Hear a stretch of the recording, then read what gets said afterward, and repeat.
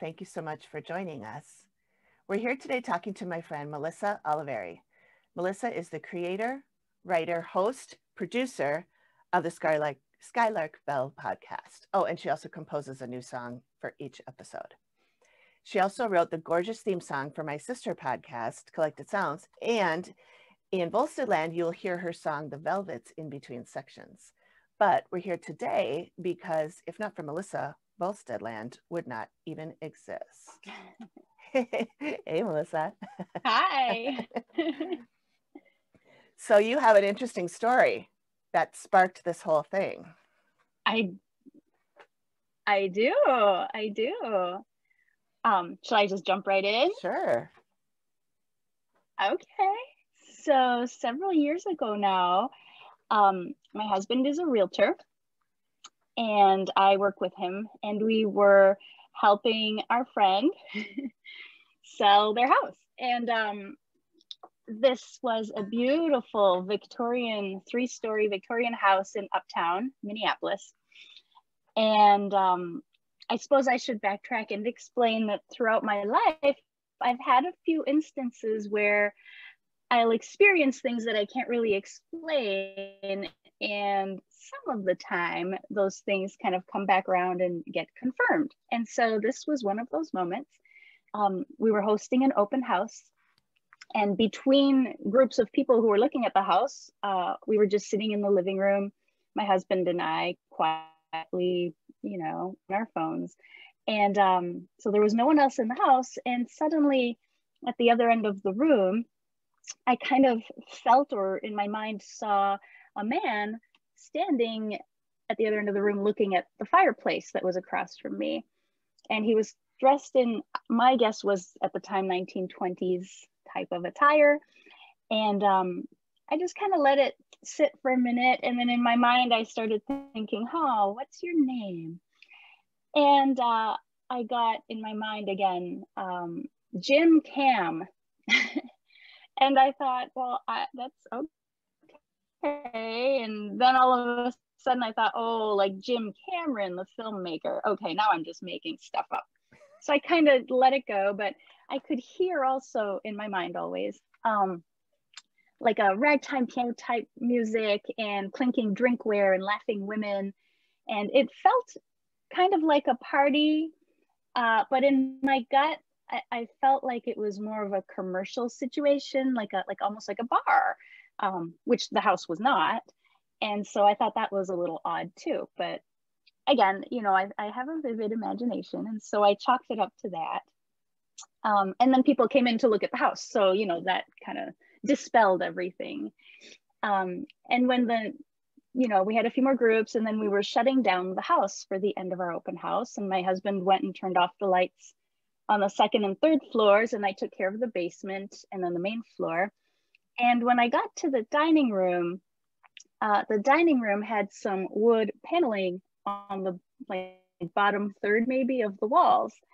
And I just had this instinct to bend down and place my hands on that wood paneling and kind of feel around almost like I thought I could maybe find a secret compartment.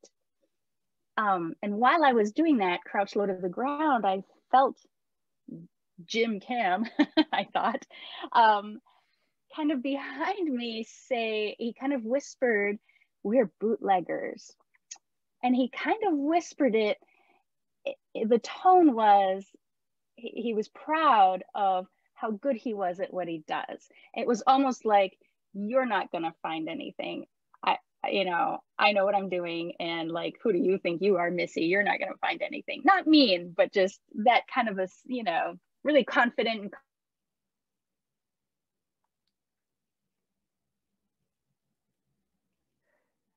You froze up. That happened. And okay. now, still, I thought I'm probably imagining this. Um, and eventually as we were driving home i started looking on my phone and trying to find out more about you know minneapolis 1920s bootleggers prohibition and the first was uh, the name Kid Cann with two n's which you know if you look at it um, Mhm. written out, Jim Cam and Kid Cann with two N's are pretty darn close. Mhm. I could see if we were a hundred years apart through time how that miscommunication might have happened. And uh, and sure enough, as everyone listening to Volsteadland knows, um, he was around back in that day, and he, I'm sure, was a very confident man.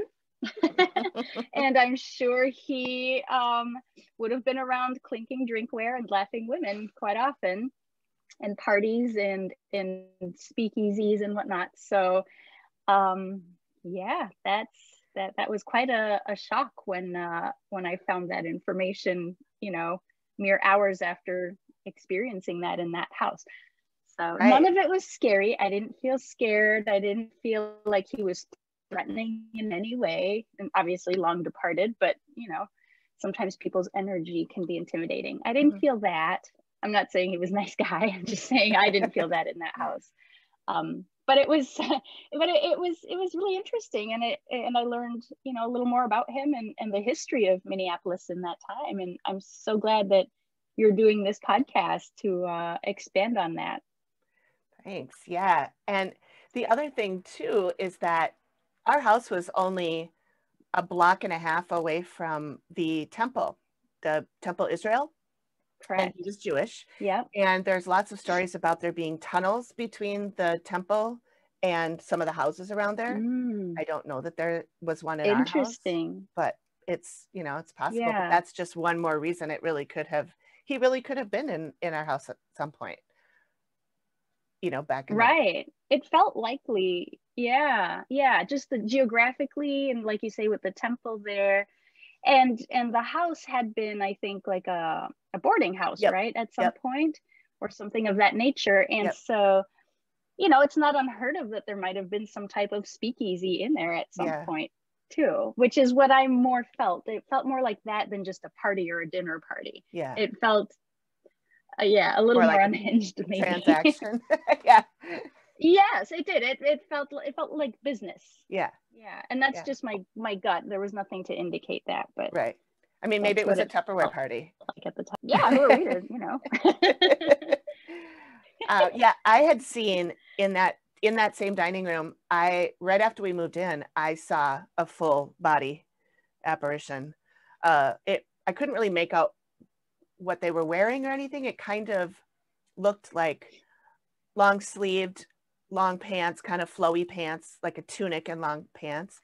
Hmm. And um, it was only for a second, and you know they were posing in a certain way. And I had mentioned it to one of my neighbors, and she said, "Oh, I bet that was one of the guys that worked the the the field back when it was a rooming house." So oh wow, you know, there's there was I saw a lot of things in that house too. It's you know, so there was some activity in that house. It doesn't surprise me at all Yeah. that you know that you saw something like that. So that's cool. yeah, Yeah, yeah, It is cool. I know. I love it. Now I wish we were still there.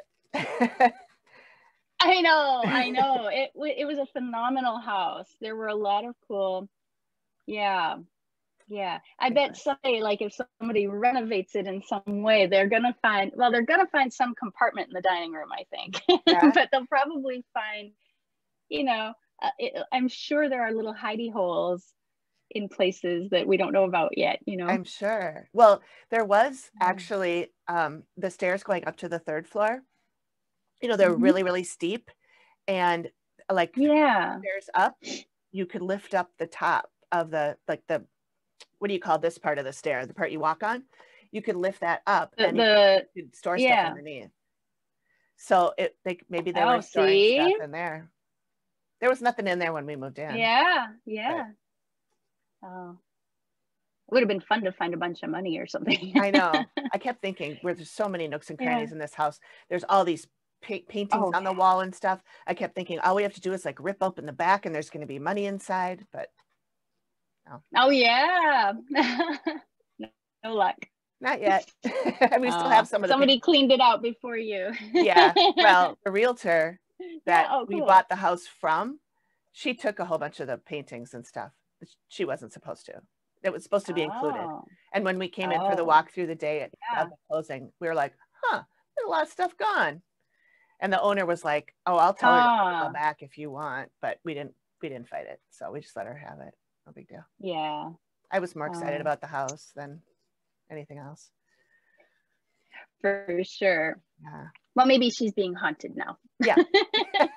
yeah, maybe the there's haunting in the painting that she stole. yeah. yeah, the the So the said eyes they will follow. Yeah. those creepy pictures.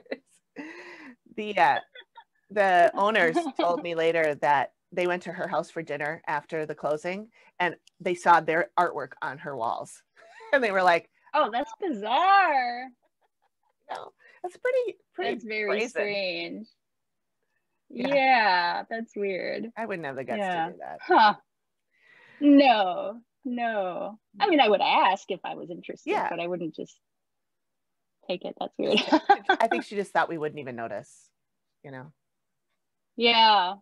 Huh. Whatever. We did, for the record. Yeah.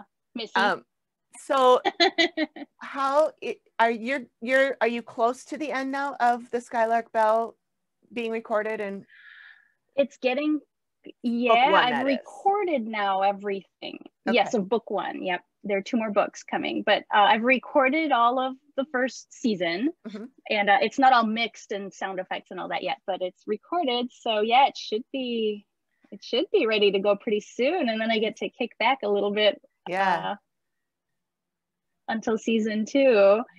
So yeah, it's exciting. And then I mapped out season two on a calendar. And the second book is quite a bit longer than the first book. It's probably 20,000 words longer. oh Um, and so season two was going to take up the entire year, every single Friday. And um, that might be a little much. So Yeah. I'm thinking I'll let people binge the beginning of season two with like five or six episodes Mhm. and then go from there. So we'll Yeah. see. But yeah, it's good. rolling. It's exciting. that is exciting i love it i love it good well um oh and also are you also looking into making the skylark bell an actual book in book form that people can buy and hold and read I am uh yes. Yes, yes, I am. I'm I'm waiting to finish the third book. Okay. Um which is mostly done. I'm it's Oh. it's kicking my butt a little bit, but it's getting close. And uh once that one is done, I'm going to review everything because they they really work together and I don't want to give too much away. Yeah. Um but there are scenes that replicate through the three books and I want to make sure that I don't have any mistakes. And so um, I'm waiting to have all three finished, and then yeah, I'm going to look into into getting them published in book form, whether that's ebook or, or Right. physical book. Right. awesome that's Yeah, that'll be exciting too, yeah i'm excited for and you. audiobook. Yeah. yeah. Yeah. Of course cool and Thank what's your shirt thank ghost you. stories And on your side, oh, my Your shirt. Oh, my shirt. Yeah. Oh, yeah. It's isn't Oh, funny? Look at yeah. this. It's um. What does it say? It says ghost stories. Who needs to sleep? And it's got Snoopy on it. oh You know, reading a reading a spooky book. Yep. That's really cute. I love it. I think you posted that on Instagram or Facebook or something. love And I looked at it and I went, oh, I have to share this with Melissa. I And think was I, like, did. Melissa's the one that posted it. Okay. That is Melissa. You know me so well. I